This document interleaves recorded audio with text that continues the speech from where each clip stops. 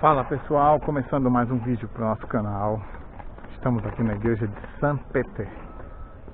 Eu estou me afastando aqui para não atrapalhar o pessoal que quer fazer foto. Mas eu estou conseguindo registrar mais uma das igrejas que eu prometi que ia filmar aqui em Zurique, tá bom? Ufa, eu subi umas ladeiras ali e acabei ficando um pouco ofegante. Mas estou aqui, essa é a pracinha que fica de frente para a igreja. A pracinha bem calma, né? E eu fico imaginando como era tudo isso aqui há 400, 500, 600 anos atrás. As ruazinhas bem pequenininhas, sabe? Enfim, muito legal, gente, poder estar aqui e compartilhar com vocês. Eu não sei se pode filmar lá dentro, mas eu vou tentar. Vamos ver, nem que seja uns três passos para dentro e eu consigo mostrar alguma coisa. O relógio dela chama muita atenção.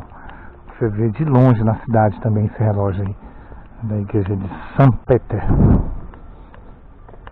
Por enquanto não estou vendo nenhuma plaquinha aqui, proibindo câmera.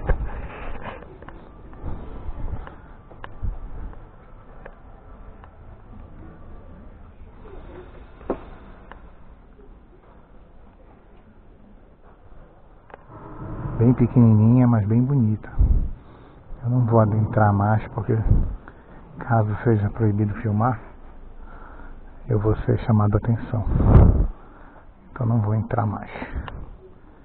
O importante mesmo era mostrar por fora para vocês e acabamos ganhando esse bônus aí de ver por dentro também. Ai gente, eu ando tenso quando eu tô viajando porque eu nunca sei o que, que pode fazer, o que, que não pode, né? Cada país tem suas regras, cada local tem tem sua forma de conduzir. Tem lugar que ficam super felizes da gente filmar dentro. Tem lugar que ficam aborrecidos. Enfim, né? E quando a gente não está no nosso país, a gente tem que obedecer as regras. E o complicado é quando a gente não sabe as regras.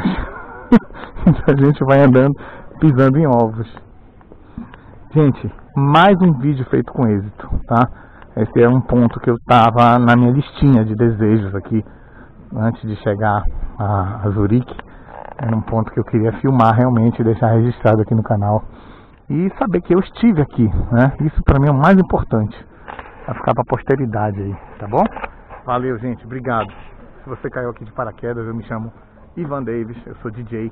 Eu tenho esse canal de entretenimento, né? O intuito inicial quando eu criei esse canal era ser um canal de entretenimento, mas acabou que hoje em dia já tem vídeo de viagem, já tem vídeo de tudo. As coisas do meu trabalho, eu sou DJ, né? Eu sou relações públicas e eu estou tentando emplacar aí algum trabalho na área de turismo também. Tá? Um grande abraço, me sigam no Instagram, arroba DJ Van Davis e também no arroba PEC Underline Entretenimento, tá? Um grande abraço, fiquem com Deus. Tchau, tchau, valeu.